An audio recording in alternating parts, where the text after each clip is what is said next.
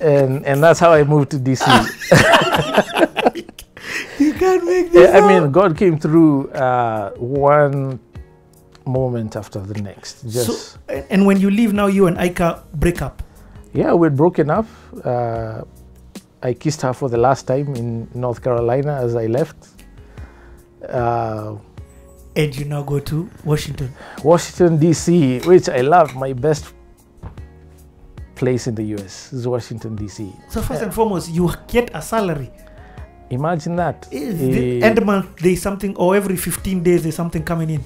Well, it was it wasn't regular, but I was he was always paying me for something. Uh, and in, in one instance, he even shared some of his profits on a, on a deal that he did in uh, in DC. What?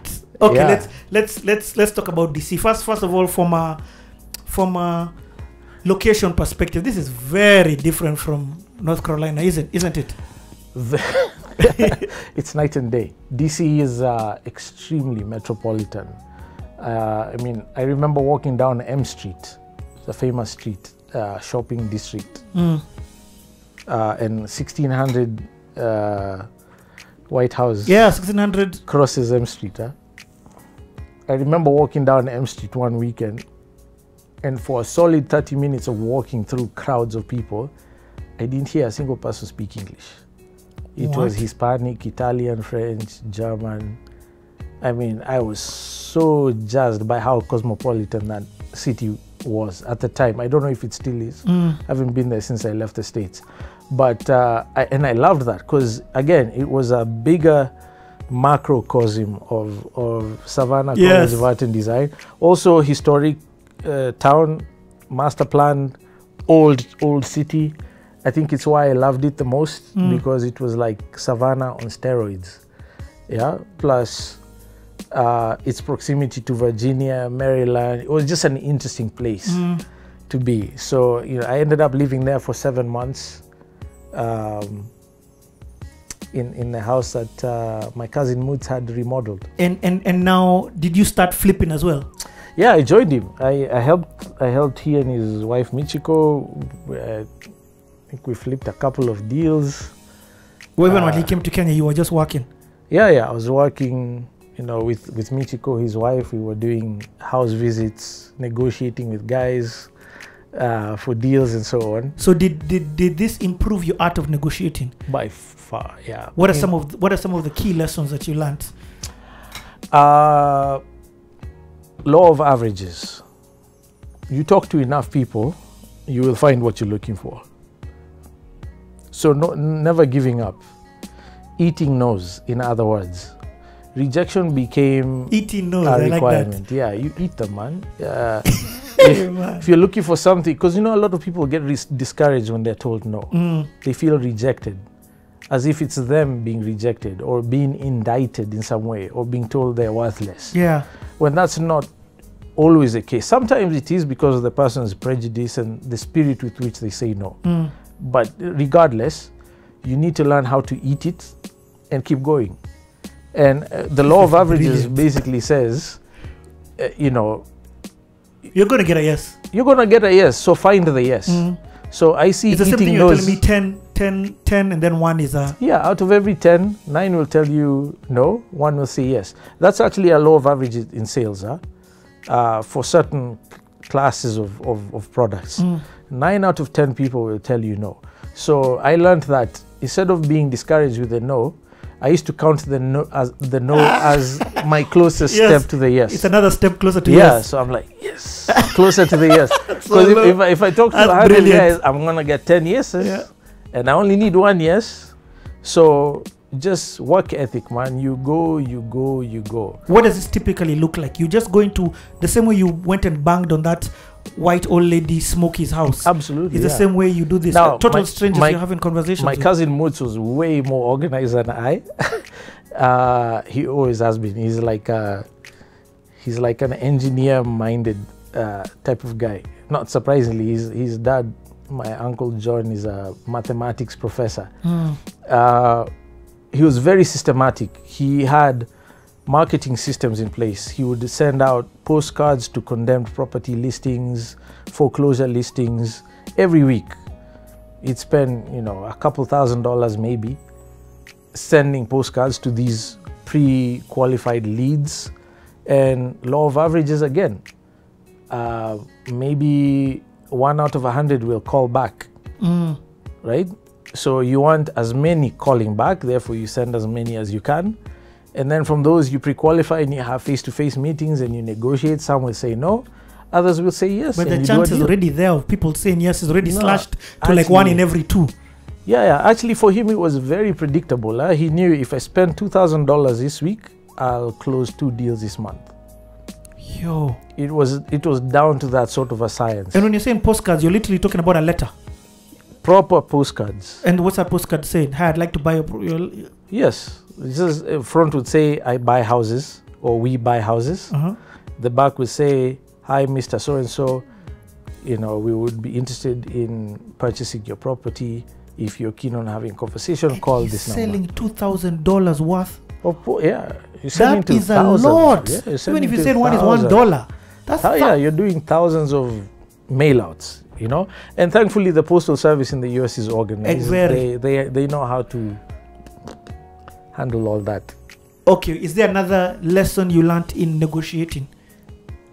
Yes, um, I still use it to this day. Uh, basic human psychology and etiquette. Always make eye contact. First one to blink loses. Seriously. Now, especially if you're the one trying to get a deal, the other party is trying to check you out. Mm. Like, do you have hidden motives? Are you serious? Are you not? And something as basic as eye contact, it's very primal. Uh, but it betrays a lot of times. It'll betray people's lack It's of the window. It's the window to the soul. Absolutely. It sounds silly, I know, but I have proven it. I prove it every day. You make eye contact, you smile, have a pleasant demeanor because no one wants to talk to a sourpuss. You know, uh, if you're if you're looking friendly and inviting, people want to engage more. So you have to be presentable. You can't have bad breath Yeah. you have to have oiled your face. Uh, you need to be inviting. Uh, very important. Those are the basics. We actually later on I learned there's actually an acronym for it. It's called the C factor. S E E, uh, which is smile, uh, make eye contact, and be enthusiastic. Because everyone wants to join the party, right? You If you're like, if you're like, ah, I'm bored. Uh, Yeah. I'm not sure. Guys don't want to engage. Mm. So smile because you look inviting. Mm-hmm. Make eye contact because that builds trust. And enthusiasm invites more engagement. Mm. And if you listen long enough, people will generally tell you what problem they want you to solve and how to solve it for them, even if they're not aware. Yeah, yeah, yeah. And that's how you get a deal. This is insane. yeah. So I mean, it was um, was an amazing learning experience. Mm. so Uh, c- tell me one of the deals that you closed in Washington. Washington, um, I'll tell you the one And did you make some good money at, in that place? Yeah. There's one actually I found it already sort of in process when I moved to DC. So my cousin uh, Moots near near the house he had remodeled that I was living in, there was another house. Mm. Uh, an, an old elderly lady lived in there by herself. It was in very poor condition. And uh, she was behind on her rent to her landlord or landlady. And uh, very sad situation. For whatever reason, she was completely on her own, and she had some sort of disease that gave her. You know, you know that disease we used to, we learned about in school called elephantiasis, Mm, mm, the big, yeah, big legs. Yeah. She had such big legs she couldn't move, Mm. and you know, before before I arrived, I remember because we used to have compare notes with my cousin Moots. He would tell me how he walked into the house to meet the lady, and there were buckets. You know those twenty liter buckets Mm. of paint. The living room was full of these buckets with a putrid stench. Uh, she used to go to bathroom in the buckets because she couldn't walk to the bathroom. Ah, yeah, yeah, yeah, yeah, yeah, yeah. Um, and the same was was true upstairs. Uh, I mean, she was she was not living. She was like she was like dead. That Mm. lady. So anyway, she, they finally get an eviction order, and she got moved to more appropriate facilities. With I think the healthcare, yeah. state uh, took over. So Moods had to take over this house. The landlady didn't want to deal with that mess. The grass in the backyard was like five foot tall. Uh, and uh, you know he hired some guys to clean out the place. So by the time I was arriving, it was empty, Mhm. thankfully. Mm. But now he had to figure out what to do with it.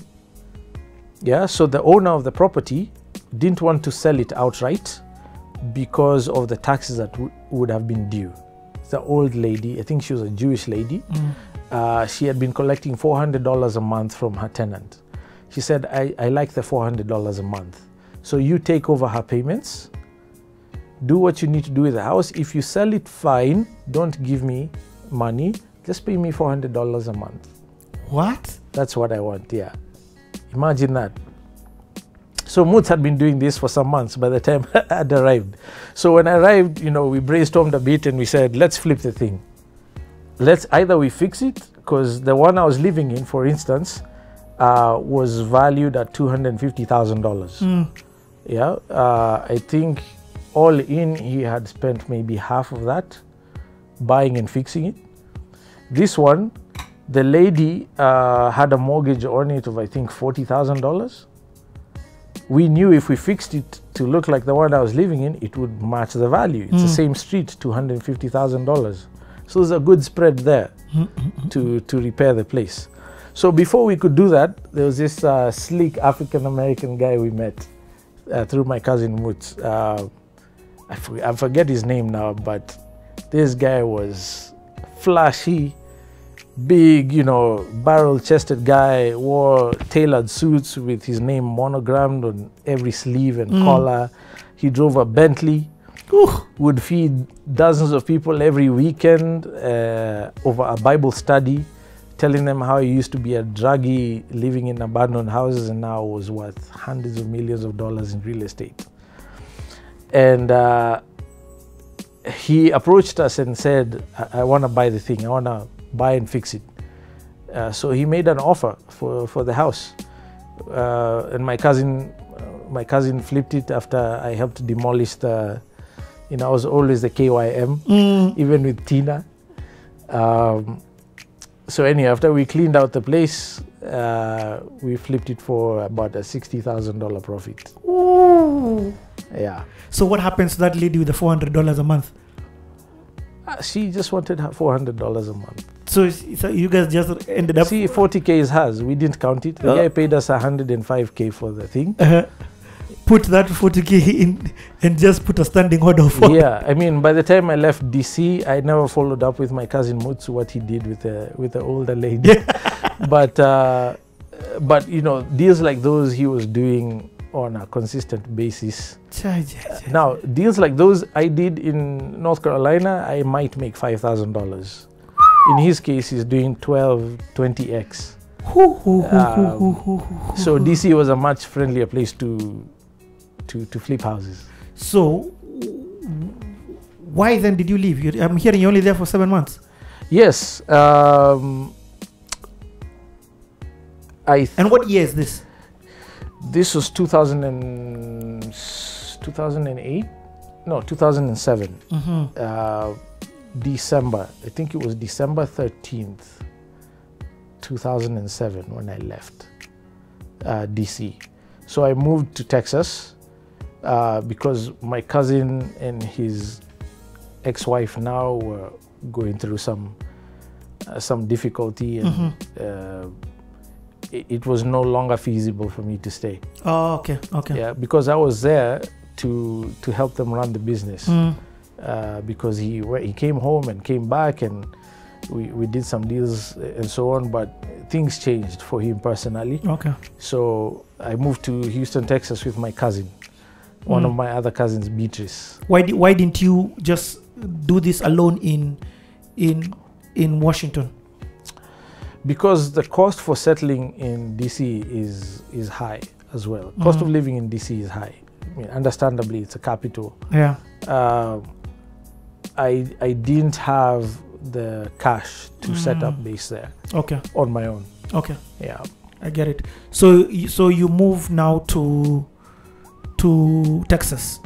Yeah, I moved to Texas with my cousin BT. Aika is no nowhere in the picture now. No, we were still talking actually. Uh, during that year I was in DC, I uh, I proposed to Aika. Dude, are you gonna leave that out? yeah, I uh, you know it took me a year to weasel my way back in Yeah. into her heart, long distance. She's in North Carolina. Yeah, she's still working in North Carolina. I'd go visit her. I think I visited her once. She came visit me twice Mm.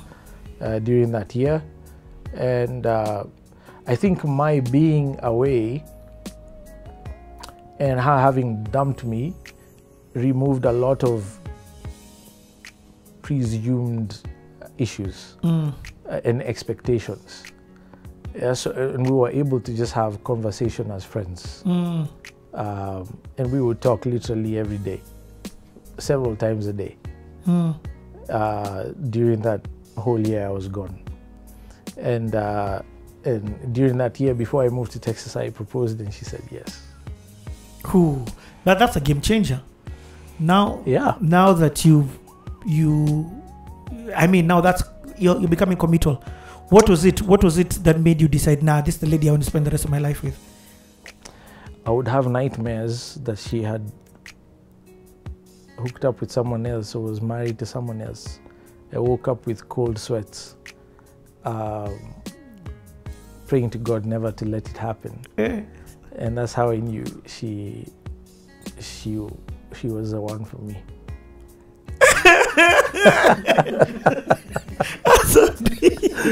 Uh, yeah. So look.